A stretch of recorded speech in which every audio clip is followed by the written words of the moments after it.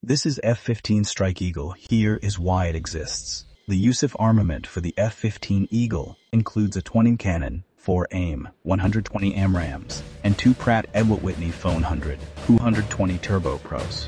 The Air Force's most successful and deadly tactical ground attack aircraft in its inventory. It can fight its way to a target over long distances, destroy enemy ground positions, and fight its way out.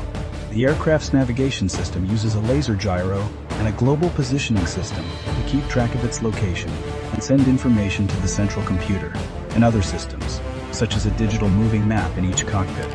The low-altitude navigation and targeting infrared for night or LANTIRN system enables the aircraft to attack ground targets with a variety of precision-guided and unguided weapons while flying at low altitudes at night and in all-weather conditions. The LANTIRN system provides the F-15 with unrivaled weapon delivery accuracy in